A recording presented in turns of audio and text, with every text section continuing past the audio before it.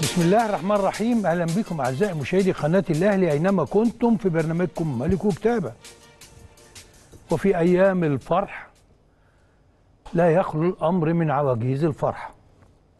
إبراهيم. أهلا بك يا باشمهندس. أهلا بكم أعزائي المشاهدين. وموعد يتجدد معكم في الحلقة 835 من ملك وكتابه لقاء الخميس جاي في عز الفرحة اللي المهندس عدلي شايف إنها لا تخلو من كدابين فرحة. إيه؟ مش كدابين. يعني أمثلنا الأمثلة بتاعتنا المصرية عميقة جدا. يقول لك عواجيز الفرح. آه. اللي يروحوا الفرح فيلاقوا إيه؟ العروسة حلوة والعريس حلو واليوم جميل والأكل والبوفيه حلو.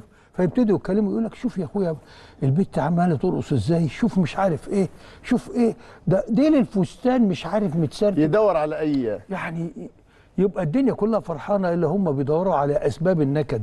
آه. وأسباب تخلي إن في شيء ناقص مش كامل في المشهد اللي قدامه. أها. يعيش الشعب المصري حالة فرحة. هي ح- هي فرحة شعب. صحيح. مش بس النادي الأهلي اللي هو معظم الشعب المصري أيوة. ولكنه حتى هناك الكثيرين من أنصار الزمالك ومن لاعبي الزمالك آه، فرحانين. لأن ده ده ده شعور السوي. ولكن يظل ناس بتدور بمنكاش إزاي في حاجة تتوقف قدامها وتقول لك وبعدين إيه؟ الابتزاز بالمبادئ يا أستاذ إبراهيم. يقول لك هي دي مبادئ الأهلي. آه يا متربي انت. هي دي هي دي مبادئ الأهلي.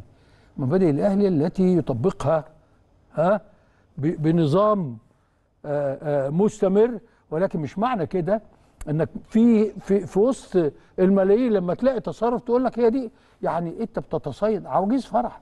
يعني ودي بتبقى أستاذ إبراهيم لما تبقى عندكش أسباب تخصك للفرحة. آه.